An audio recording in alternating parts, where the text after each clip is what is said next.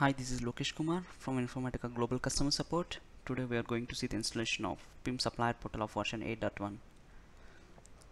Regarding installation of PIM Supplier Portal, we are going to see the following topics installation of supplier portal database installation of supplier portal server and the configuration of supplier portal to integrate with PIM core server regarding agenda we are going to see the prerequisite for supplier portal server installation followed by installation of supplier portal database and server and then the next topic will be the integration of supplier portal with the PIM server with the necessary configuration changes and at last we are going to see few additional points to be remembering there. As a part of prerequisites of supplier portal installation we need to make sure the user who install the supplier portal need to be in local administrators group. And the service user who starts the supplier portal should have the necessary permissions which is read and write on the supplier portal directories regarding first part which is installation of supplier portal database we have to go to the corresponding configuration.properties file of the installer and you have to make uh, few configuration parameters values. We have to make we have to change few necessary configuration parameter values related to the database and then we have to run the setup.cmd file to create the database schema. And then we have to verify whether the schema is created or not. Let me show you on my local environment. Okay this is my local environment where I have downloaded the installer pim81 supplier portal.zip and I have to extract it like this. Then I will just copy it to the corresponding base directory of PIM where I already have the PIM server client and the other modules. So once I copy it I'll just rename it to supply portal. And under this there are many files and folders that you can see. Go to configuration and open the configuration.properties in notepad++ in the properties file you have to modify the database settings. The first one is the database type uh, supplier portal supports MS SQL Server or the Oracle. In case it's a non-production environment you can go with the H2 database as well. So you have to change currently I want to install the database type for my SQL Server. So I use it as database type MS SQL and this is the database name this is the schema name that will be created. And then I give the database server localhost I want to install the uh, database schema on the local host uh, uh Microsoft SQL Server.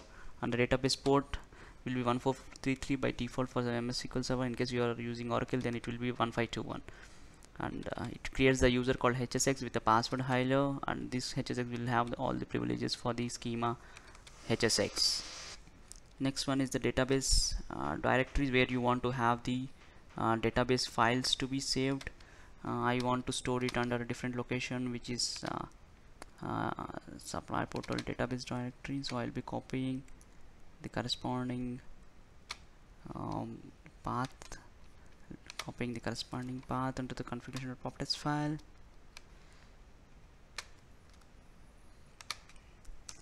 So here the main database files will be created.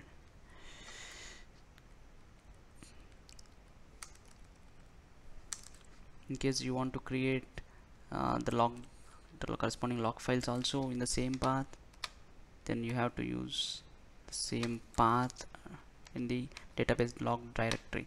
And you can change the database size growth or the log file size growth based on the parameters. Uh, let's keep it to, let's keep it to default. And in case if you're using Oracle then you have to comment out these properties and uncomment out the corresponding Oracle properties and change the corresponding values for that and these are the drivers which will be used based on the database type you use. And just make sure in case it's there is an issue with connecting to database uh, or for example if you're using an Oracle in case if you're using it service name or SID and you're not able to connect just make sure the JDBC URL is correct. And these are the database settings that we need. So save it and go back to database directory supply portal database where you have a setup.cmd file. Just run the setup.cmd cmd file it will be creating the corresponding schema and the user. So build is successful. So if I verify on the SQL server I don't have any HSX if I refresh HSX schema is created but with empty tables. So by default it just creates only the schema and the corresponding user. And the next one is installation of supply portal server for this by default you have the supplier portal server you have to just start it but to have it integrated with the PIM server you have to edit the corresponding configuration or properties file with few parameters related to PIM core server. And in case you want it to be integrated with other modules like media manager you have to modify those parameters values as well. After modifying you have to install the service directly if you install it will be created with a with a default name. If not if you want to modify you, there is a way to do that and then you have to start the service and access the supply portal URL let me show you that. So by default I want it to be integrated with the PIM core server so I'll go to corresponding configuration properties again. Go scroll down to go to HPM settings. So these are the settings that will be used to connect to PIM server. So first one is the PIM REST URI. Give the URI of the REST HPM REST. By default, I have everything on localhost, so I just put it localhost, and the port is 1582. And the next one web client is also same thing, host and port 1512. And what is the username and password it uses to communicate to PIM server? I have a user called REST which is an internal user created in PIM-rich client already with the password highlight so I'll just use this and then save this in case if you want to use a media manager integrator then you have to use the corresponding media manager settings. So you have to change the corresponding uh, media manager settings. But for now I let's stick to the integration with the PIM core server. So I just modify this save it. Go back to supplier portal. Let's install the service. You can run the install.service.batch file which will create the which will install the service I look at the Informatica service so this is the service Informatica MDM Product 360 supplier portal in case if you want to rename it uh, while installing what you can do is you can run the configure.batch file where it where you can modify the service name. And then once it's done just start the server supplier portal service. So if you want to track the status of the whether it started or not you have to go through the logs but by default logs will not have any file because the configuration by default will point to a different directory. So let's configure the logs as well. So go back to supplier portal configuration directory logback.xml file and open it in uh, notepad++ or any other text editor. So by default the log files will be created under C Informatica PIM supplier portal. I want it to be in a different directory because I have installed under different directory so go I'll just copy this uh, path of EPIM supplier portal logs I'll just replace I'll just replace this one. The corresponding path. And then done save. Now I will restart the server again so that log files will be created in the new in the new directory which I have given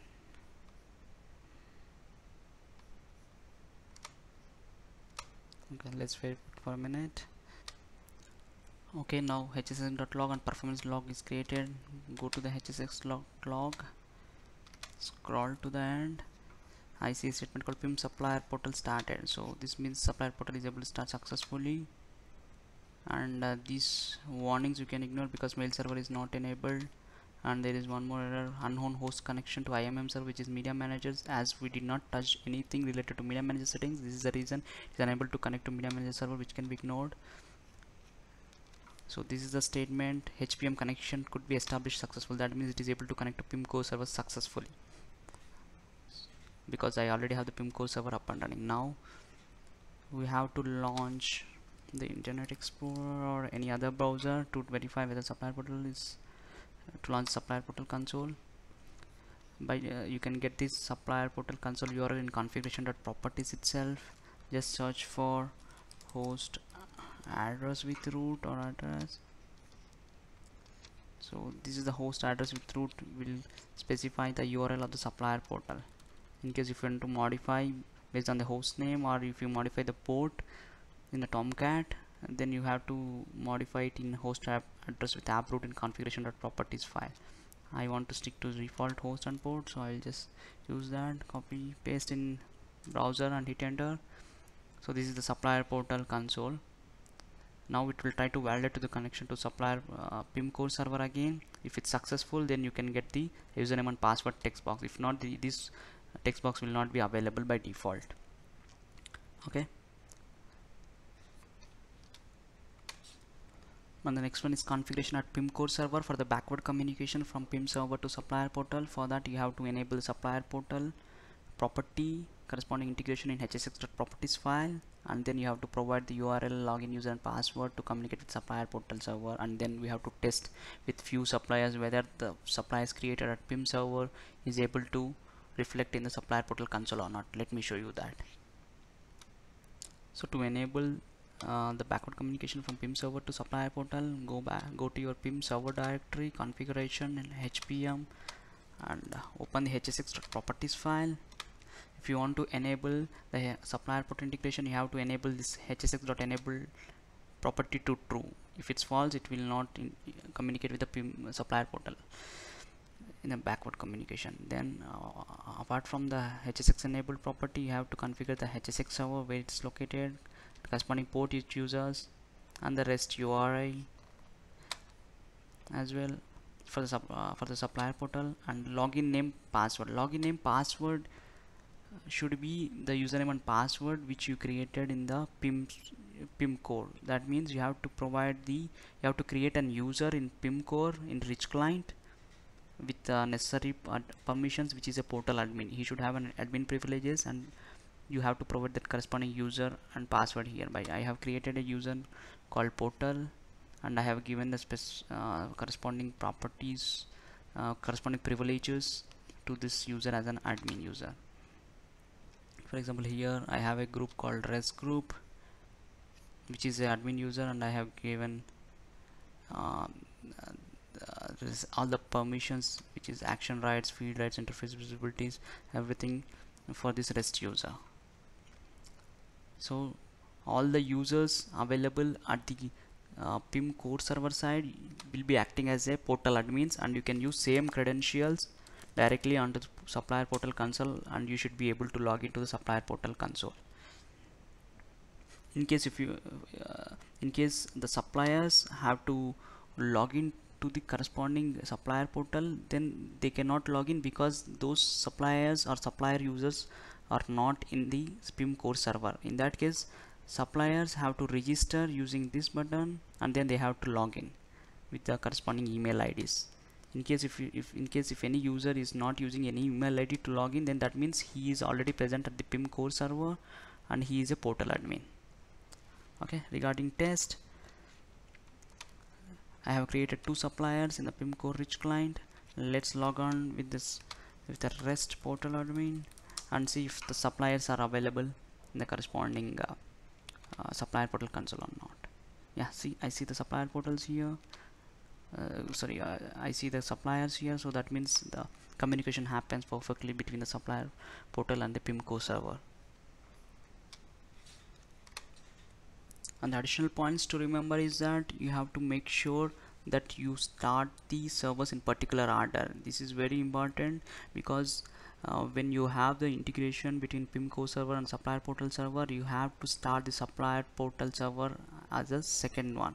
So at first prerequisite is that PIM core server should be up and running and then once it is up and running then you have to start the supplier portal server so that it, it tries to communicate with the PIM core server using REST call and then you get a username and password text box. Else you will not be able to get the username and password text box. The second one is users login uh, users to log into supplier portal. All the users in the PIM core server or in the PIM rich client will be your portal admins. As I mentioned earlier any other suppliers who has to log into that they have to register with their email ID and log in using the email ID and the password they have set. Other application other applications integration uh, uh, if you want to integrate the other modules of PIM core which is uh, which is media manager then you have to enable the corresponding media manager properties in configuration dot properties of supplier portal and then you have to restart the server.